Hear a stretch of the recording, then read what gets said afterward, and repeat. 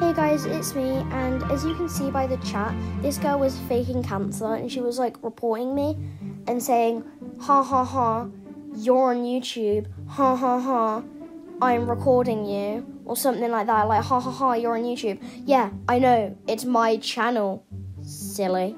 You're also on YouTube.